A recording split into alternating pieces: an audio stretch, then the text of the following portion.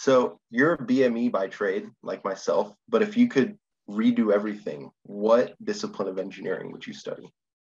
If I could redo it, I would still do BME because BME is awesome, and it's been um, it's been a really exciting career. Um, working at that, I think all the fun is at the interfaces. So being at that interface between engineering and medicine, um, I, I would do exactly the same. If I were starting now, I probably would still do BME, but maybe instead of heart, which is what I studied, I might do neuroengineering. I might do brain.